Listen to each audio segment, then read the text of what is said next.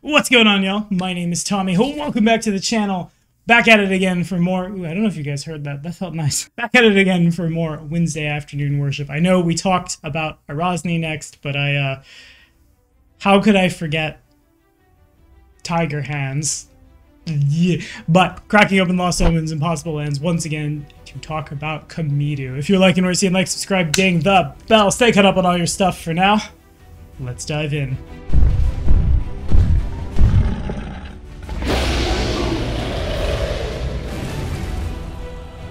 Okay, so we've talked about nature gods a lot over the years, but never have we really ever talked about, like, from where nature came. Erastil taught the people how to hunt, but, like, who made the animals for the hunting? Gozreh helped feed a man by teaching him how to fish, but where fish come from, right? The answer, weird for the fish, but a tree. A tree somewhere in the multiverse, who knows where, known as Kalpavendi, from which everything that flies, crawls, slithers, or is otherwise a beast of the land sprung. It's also a very, very potent magical healing tree that can cure people of like anything, basically. A cradle of life that people have spent their whole lives trying to find, because why would you not, right? Primo hunting ground, fix your pre existing conditions, all that good, good shit. But generally speaking, most people aren't coming back from those quests, or not in one piece if they do. That exception, of course, is the worshippers of Chamidu. She's the guardian of that tree, the mother of all of the things that crawl, walk on their weird fucking tiger hands. She both will defend it and, like, by the same token, everything that crawls out from it from those who would seek to do them harm, and bring those who she deems worthy to that place to receive that healing, to pet the tanned tiger. She's a deity in four parts, represented by all four faces of her aspect. You've got the like nurturing mother side, the wrathful, destructive thunder god side, the serene nature side, and the side that uh, will get in your head and give you nightmares and do eldritch horror shenanigans to you if you piss her off or hurt her people. It's like four deities all in one, four very distinct things, and that without a doubt makes her the best bang for your buck if you're looking to become a cleric in the impossible lands. But mechanically, Chamidu is true neutral. Allowed alignments are neutral good, neutral, and neutral evil. Weird that there's not like a fourth one in there somewhere for the aspects, but go off. Her divine font is to harm or heal. Her divine ability is strength or constitution. Her divine skill is medicine. She provides access to the domains of healing, you know, that maternal aspect. Lightning, you know, nature, Angie. Nature, you know, nature. And nightmares, you know, distinct from all. God. She provides access to the alternate domains of freedom as well. Clerics of Chamidu may prepare Summon Animal, Lightning Bolt, and Moon Frenzy. Her edicts are cause destruction when angered, destroy aberrant creatures and fiends, live free of social or materialistic chains, and to cause destruction when angered. Anathema, harm a child, pollute the wilds, or refuse to treat an illness. Her favored weapon is the spear. Better in the hands of her followers, deadly simplicity be like. Worshippers of Chamidu who cast Avatar gain a speed of 50 feet, a fly speed of 70 feet. Where does the fly speed come from? It comes from game balance, I suppose.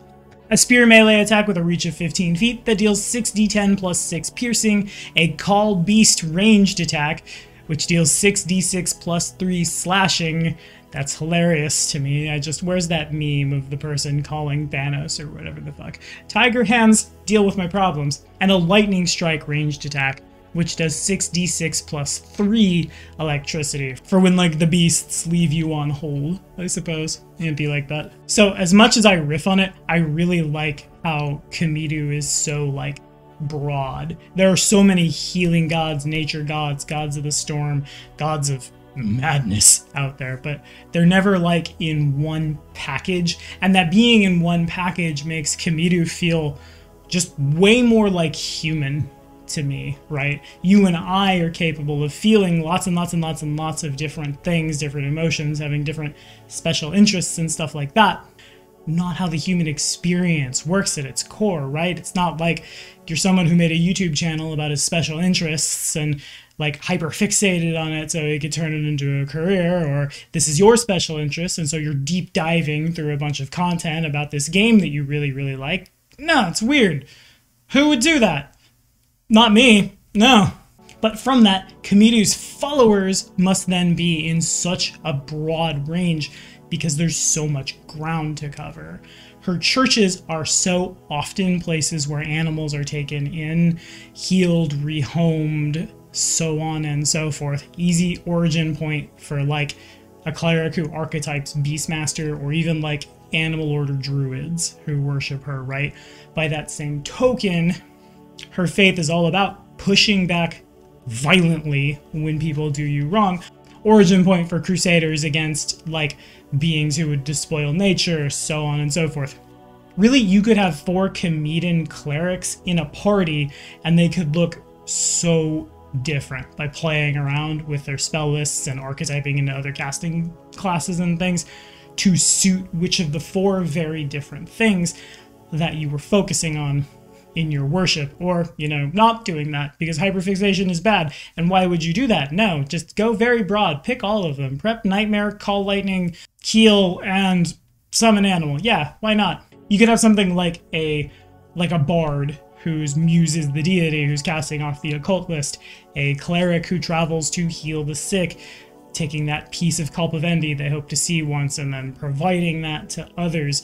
The druid who is in the act of like rehoming an abused like tiger or some other apex predator that they have to watch and take care of and might also use to kill aberrations, but don't worry about it.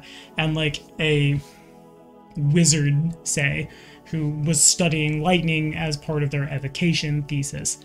From that, you get so many different character concepts that they can fit like anywhere and trace back to the source, which I think is really cool.